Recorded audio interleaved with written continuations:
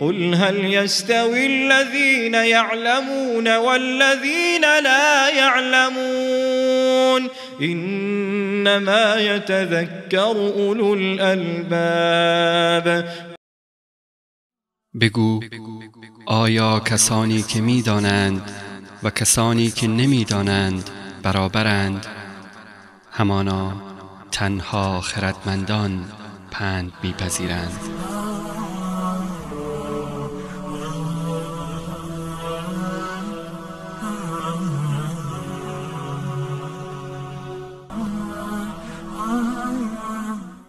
إن الحمد لله نحمده ونستعينه ونستغفره ونستهديه ونعوذ بالله من شرور أنفسنا ومن سيئات أعمالنا من يهده الله فلا مضل له ومن يضلل فلا هادي له وأشهد أن لا إله إلا الله وحده لا شريك له وأشهد أن محمدا عبده ورسوله. بحث إمروز همین است که ما چگونه می‌توانیم از اوقات خود بهره برداری کنیم؟ به طور صحیح و بهتر استفاده کردن از اوقاتی که در اختیار داریم. اما قبل از اون یکی دو نکته من باید یادآور بشوم و اون این است که اگر ما می‌خواهیم از وقتمون و اوقاتمون بهتر استفاده کنیم نکته اول این است که ما باید هدف داشته باشیم. هدفی رو برای خود مشخص و معین نماییم. این روزها که روزهای امتحانات است. دانش آموزان دانشجویان رو می‌بینیم که سخت مشغول خواندن و مطالعه کردن هستند. سراغ داریم افرادی هستند. فقط چهار ساعت در شبانه روز میخوابند و فقط مشغول خواندن و برای امتحان هستند.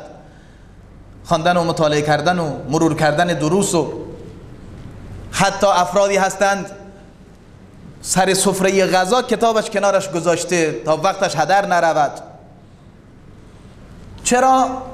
چون که او هدف دارد.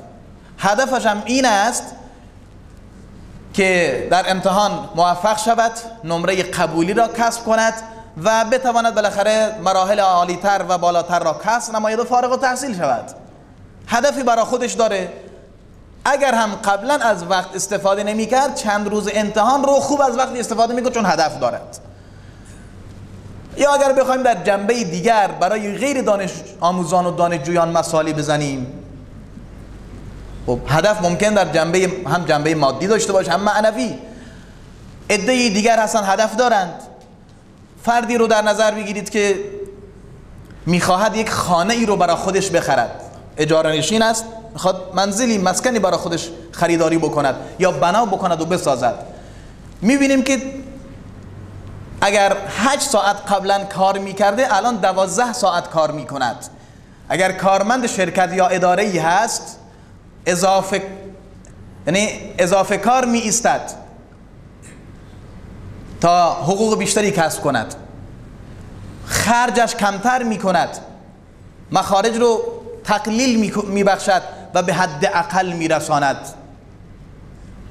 ریال به ریال و تومن به تومن روی هم میگذرد و پس انداز می کند تا بتواند خانه ای رو که منظورش بود بسازد و یا بخرد. این هم هدف داره. ما هم اگر می‌خواهیم از اوقات خود درست استفاده کنیم باید هدف داشته باشیم. حالا به صورت عام و به صورت کلی هدف یک مسلمان چیه؟ به صورت کلی. حالا هدف ها بنا به افراد و سن افراد و سلیقه افراد و تناسب افراد هدف ها فرق می کنند اما به صورت کلی هدف هر مسلمان عبادت و بندگی خدا و کسب رضایت و خوشنودی پروردگار است. این هدف هر مسلمانی به صورت عام و به صورت کلی حال برای کسب رضایت خداوند و خوش به دست آوردن خوشنودی الله سبحانه و تعالی چه باید کرد؟ از اوقات خود باید استفاده کرد.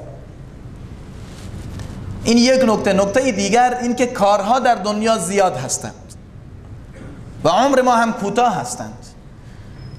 باید چیکار بکنیم و از کجا آغاز کنیم از کجا شروع کنیم؟ برای پرداختن به این کارها. ممکنه کارها خیلی مهم من باشن بالاخره. ابن القیم میگه ما باید اولویت بندی بکنیم برای کارهامون. کارهای افضل و کارهای اولاتر و مفیدتر و مهمتر رو مقدم کنیم.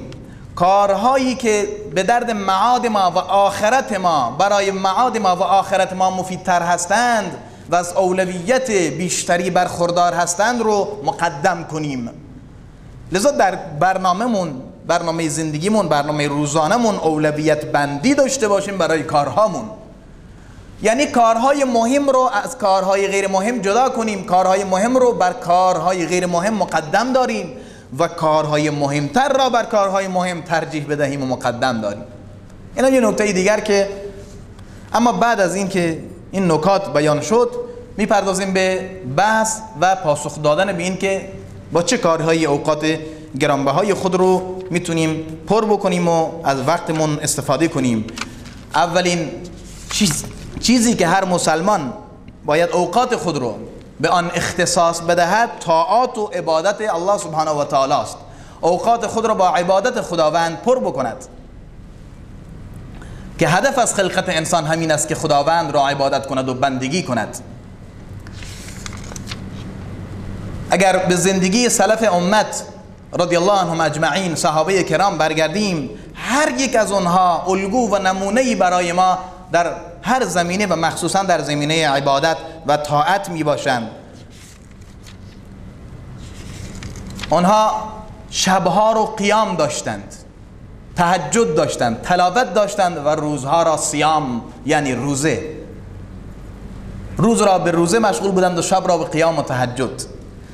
عبدالله ابن عمر رضی الله عنهما شب نماز می‌خوند مشغول نماز خوندن بود.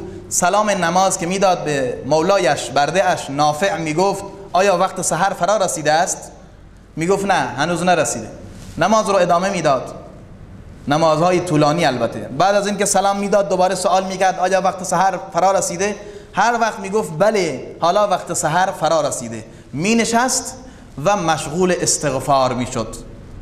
چرا؟ كانوا قلیلا من اللیل ما یهجعون و بالاسحار هم یستغفرون.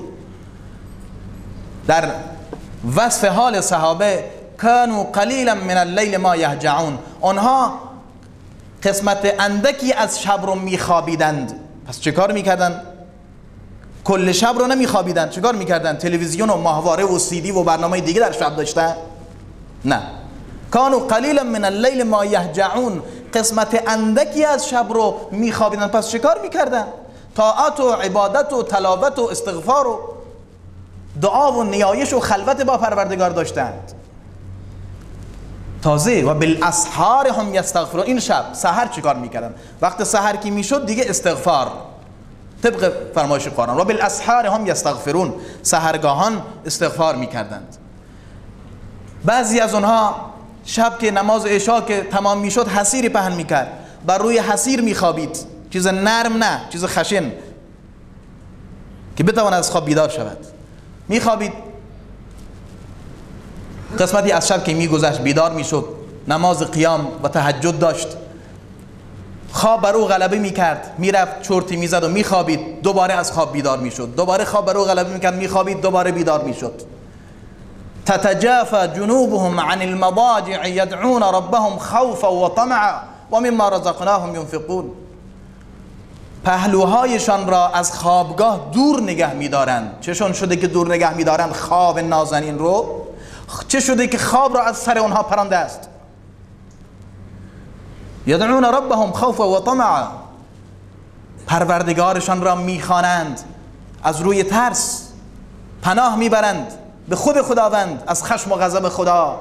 ترس از خدا باعث شده خواب به چشمشان راه نیابد. و طمعا و امید به پروردگار. باعث شده که آنها نخوابند. و مما رزقناهم ينفقون. و از آنچه که روزیشان گرداندیم انفاق می‌کنند. لذا به صورت کلی حال و احوال و اوصاف آنها را شاعر عرب این گونه بیان میدارد. این گونه صحابه را توصیف می کند عباد لیل اذا جن الظلام بهم كم عابد دمعه بالخد اجراه. وأسد غاب اذا نادى الجهاد بهم. هبوا إلى الموت يستجدون رؤياه.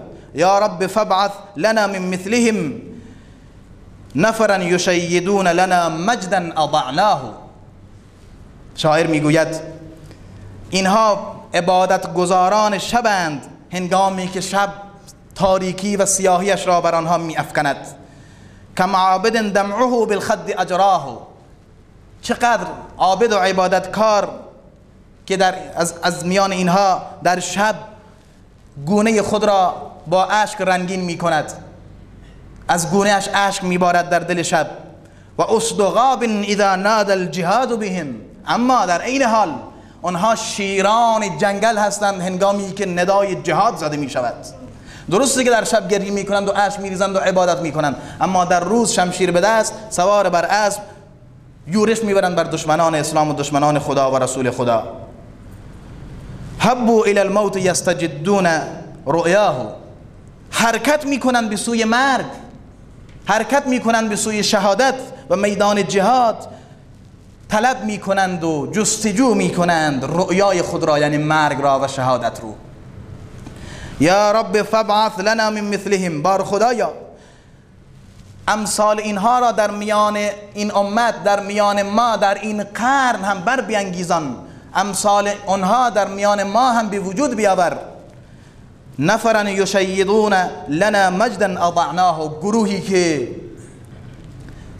گروهی که افتخارات گذشته ما را و ضایع شده و تباه شده ما را دوباره زنده بکنند اون گروه را در میان ما بر بیانگیزن. ما کجا هستیم؟ عثمان بن عفان رضی الله عنه و ارضاه. شبها نماز تهجد می‌خواند روزها روزه است. شبها تلاوت قرآن دارد. مشغول ذکر و تلاوت قرآن. معروف است. مشهور است. کسی که با قرآن زندگی کرد و نهایتا با قرآن هم خداحافظی کرد و از دنیا رفت. در حالی که قرآن در دست داشت و تلاوت قرآن می کرد در اوج شهامت و مظلومیت به شهادت رسید و از دنیا رفت. هر یک از ما اگر از او سوال شود آخرین باری که قرآن رو ختم کرده کی بوده؟ یادش نمی آید شاید رمضان گذشته باشد. لذا باید به خود برگردیم و این اصحاب رو این یاران رسول خدا صلی الله علیه وسلم رو و سلف امت رو الگوی خود قرار بدهیم. مسئله بعد که یک مسلمان می‌تواند خود را به آن مشغول کند طلب علم است. طلب علم شرعی هست. طلب العلم فریضة على كل مسلم.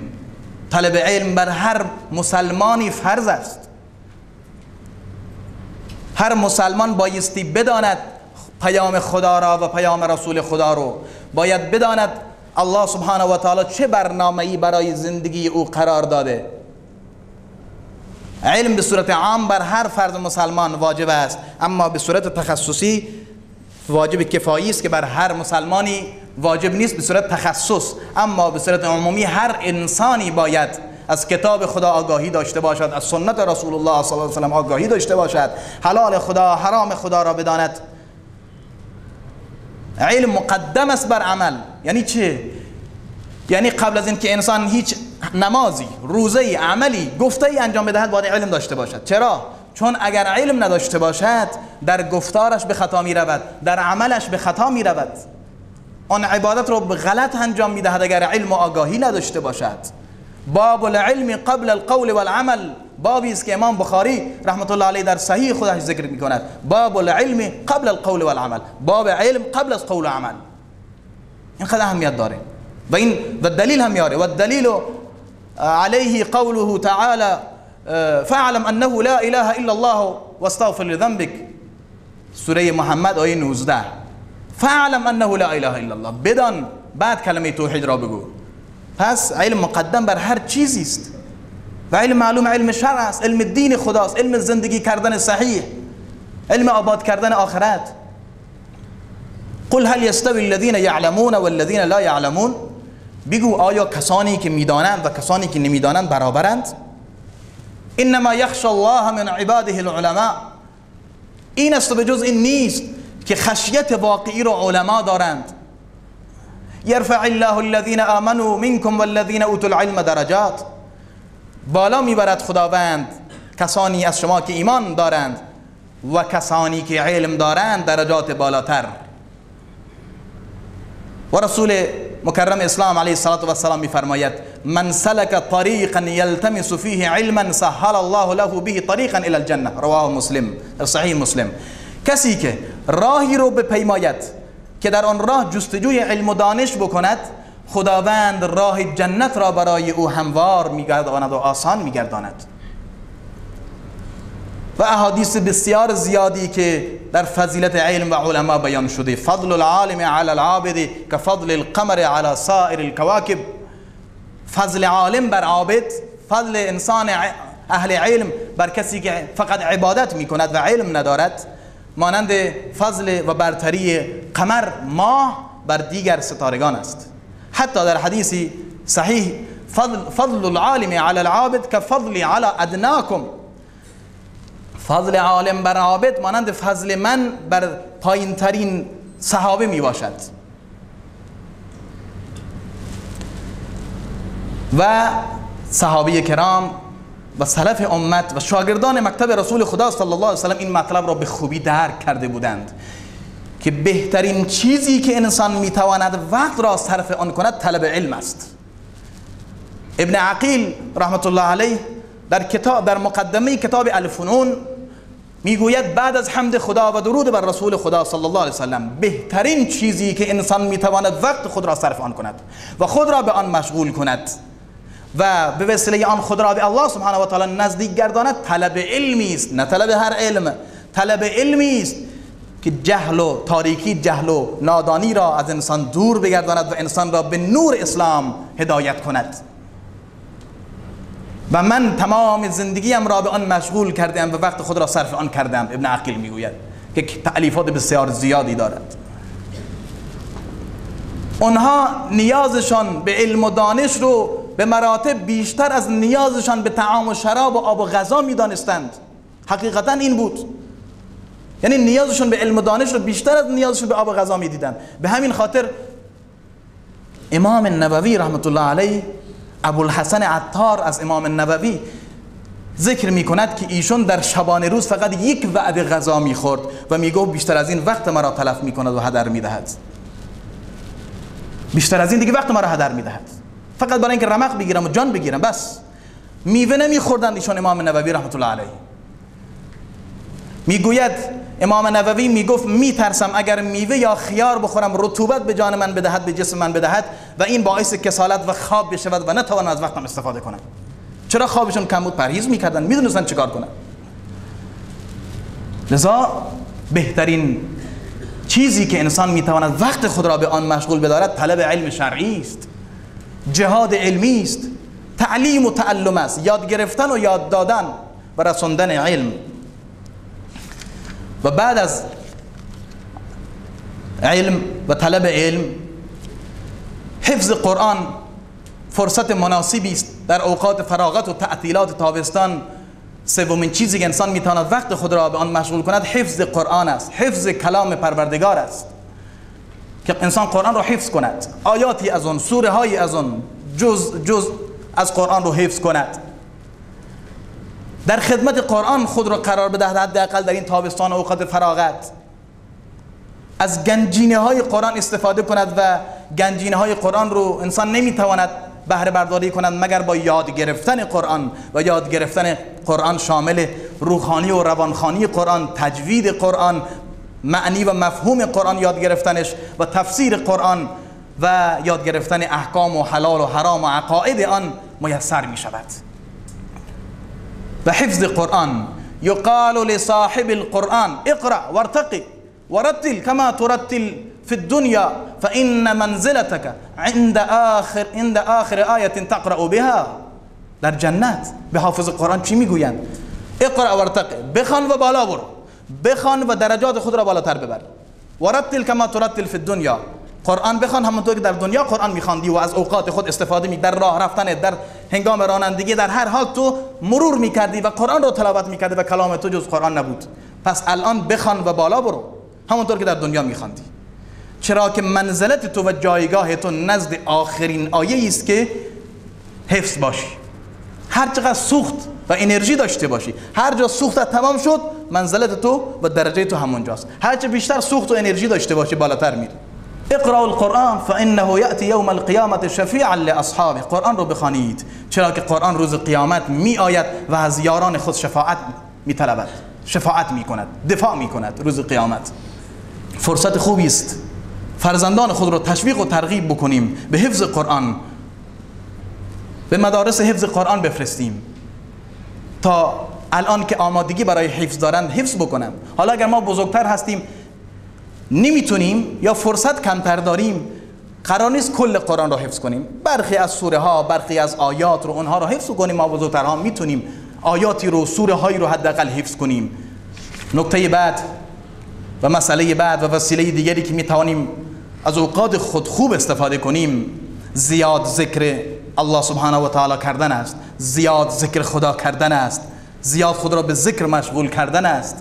و این عملی است که اصلا در هر حال انسان می‌تواند انجام دهد. در هر حالی نه هزینه مالی لازم است پرداخت کنیم و نه جهد و تلاش بدنی لازم است. در هر حال فقط زبان باید حرکت کوچیکی داشته باشد. در وصف اولو الالباب صاحبان خرد و اندیشه, اندیشه چه کسانی هستند خردمندان و اندیشمندان قرآن چه کسانی هستند ان فی خلق السماوات والارض و اختلاف اللیل والنهار لآیات لاولی الالباب یقینا در خلقت آسمان ها و زمین و اختلاف شب و روز نشانه های بزرگی است برای خردمندان و اندیشمندان. اما خردمندان چه کسانی هستند اون فیلسوفانی که ما میشناسیمشون؟ اونهایی که مسائل عقیدتی رو به چالش میکشونند و شبه وارد می‌کنند و نه. اولو الالباب و خردمندان و اندیشمندان الذين يذكرون الله قياما وقعودا وعلى جنوبهم ويتفكرون في خلق السماوات والأرض. ربنا ما خلقت هذا باطلا. سبحانك فقنا عذاب النار. کسانی که ذکر خدا میکنند و محدودیت قائل نیستند چه ایستاده و چه نشسته و چه بر پهلو خوابیده به ذکر خدا مشغولند و تفکر میکنند. دامنه تفکرشان وسیع است. در خلقت آسمان ها و زمین تفکر می‌کنند و بعد پی می‌برند به نکته مهمی که ربنا ما خلقت هذا باطلا. ما فهمیدیم که این نظم و این نظام هستی را باطل و بیهوده خلق نکردیم فقنا عذاب النار. پس ما را از عذاب دوزخ برهان. اینها خردمندان و اندیشمندانند. شخصی نزد رسول خدا علیه السلام می آید و می‌گوید این شرائع الاسلام قد کثرت. شریعت اسلام کارهای اسلامی زیادند مرا به یک کاری راهنمایی بکن که خود را به آن مشغول بکنم. رسول خدا علیه السلام میفرماید لا یزال لسانک رطبا من ذکر الله. به استمرار زبانت رو همیشه به ذکر الله مشغول بدار. همیشه زبان رو تر بکن به ذکر الله به تلاوت قرآن به اذکار به استغفار به تکبیر به تسبیح. آیا شما را به گنجی از گنجینه های بهش راهنمایی بکنم أولا أدلك على کنز من کنوز الجنة؟ متفق علیه در صحیح بخاری و مسلم. آیا شما را به گنجی از گنجینه های بهش قلت بلا یا رسول الله. بله ای رسول خدا. قال لا حول ولا قوة إلا بالله. لا حول ولا قوة إلا بالله. کنز من کنوز الجنة. گنج از گنجینه های بهشت است. اگر میخواهید گنج خدا در بهشت زیاد کنید لا حول ولا قوة إلا بالله. من قال سبحان الله العظیم و بحمده غرست له نخلة في الجنة. کسی که سبحان الله العظیم و بحمده می‌گوید نخلی در بهشت برای او کاشته می شود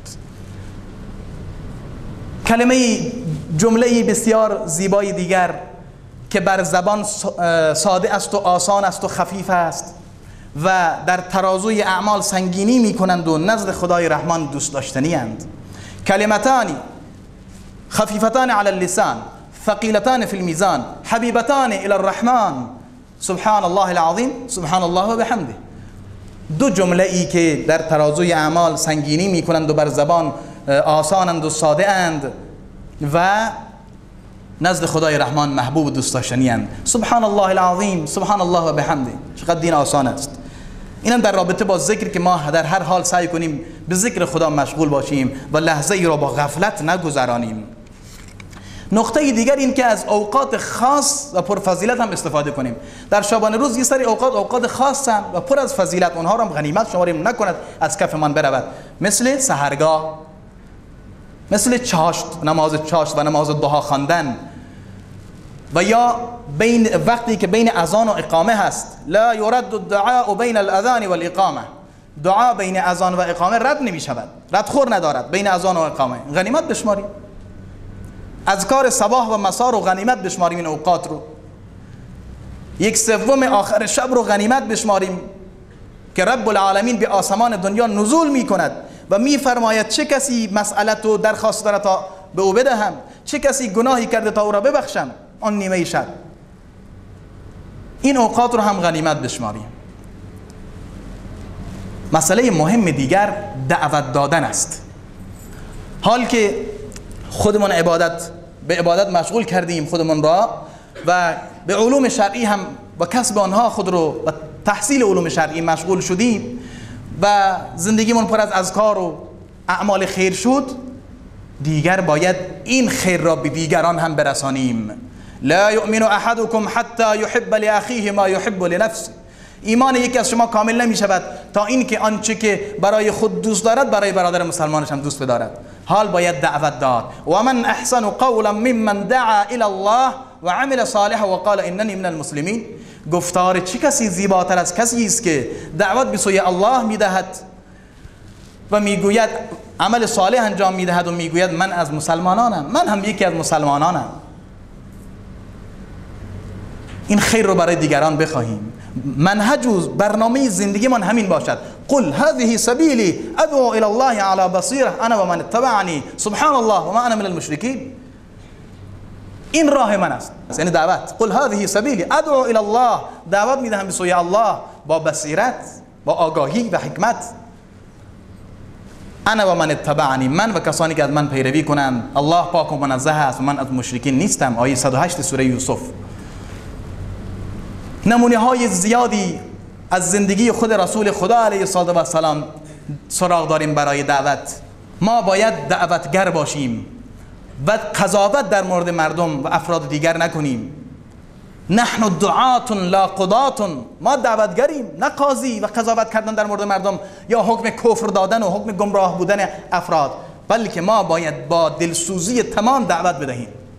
مشفق باشیم دلسوز مردم. و ما ارسلناک الا رحمت للعالمین. ما تو را نفرستادیم مگر که رحمتی برای همه اهل دنیا باشی.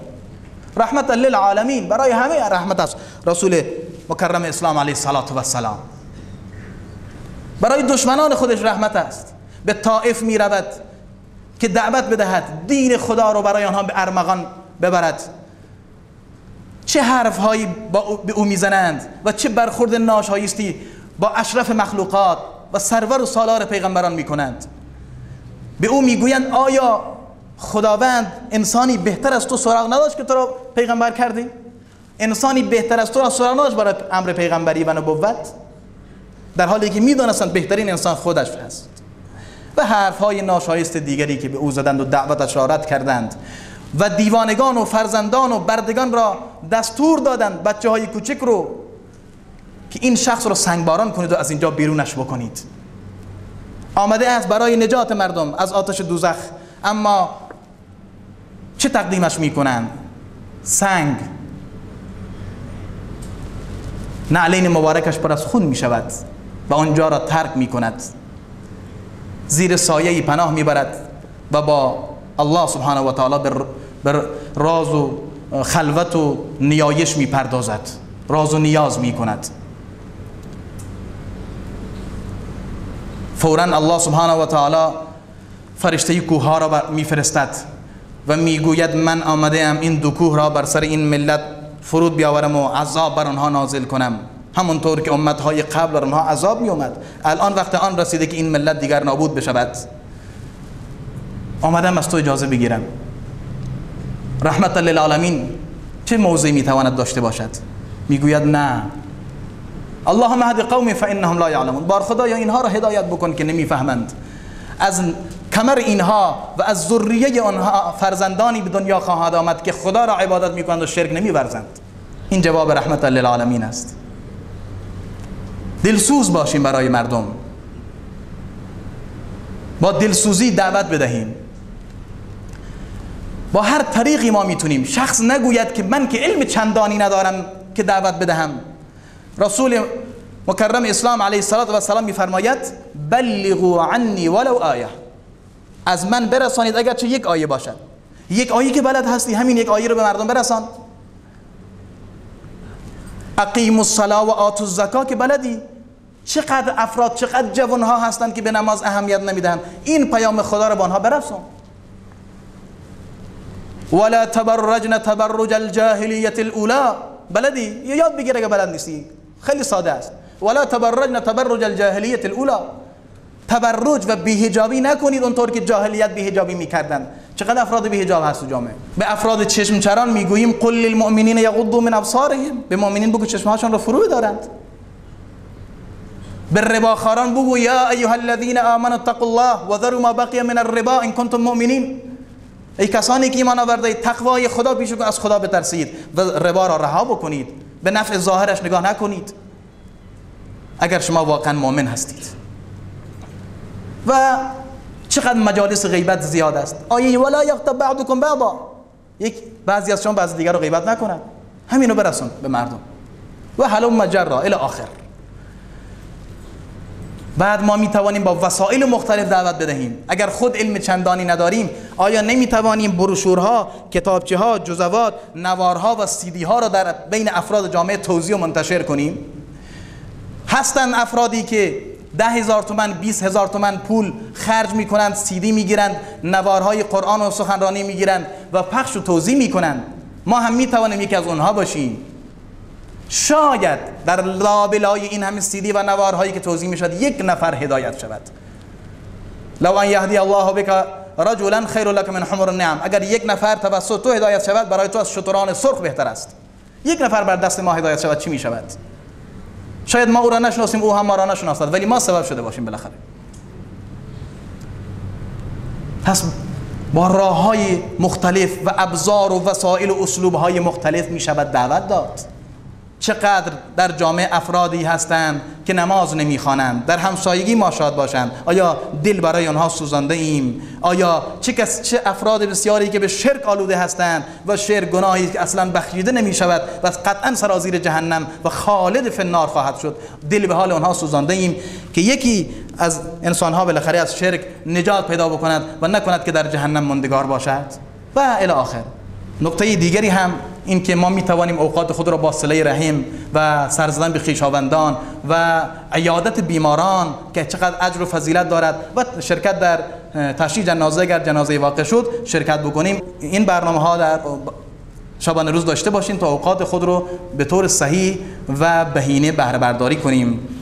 امیدوارم خداوند به همه ما توفیق بهره برداری و استفاده صحیح و بهینه از اوقات رو عنایت فرماید. بارك الله لي ولكم بالقرآن والسنة ونفعني وإياكم بما فيهما من الآيات والحكمة. أقول قولي هذا وأستغفر الله العظيم لي ولكم ولوالدي ولوالديكم ولسائر المسلمين. فاستغفروه إنه جواد كريم برحمته وهو أرحم الراحمين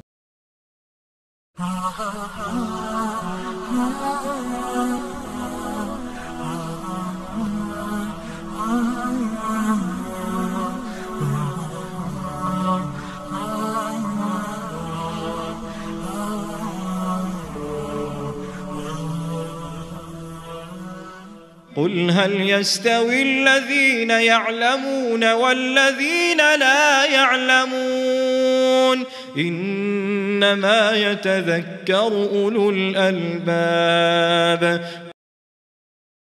بگو آیا کسانی که می‌دانند و کسانی که نمی‌دانند برابرند؟ همانا تنها خردمندان پند میپذیرند.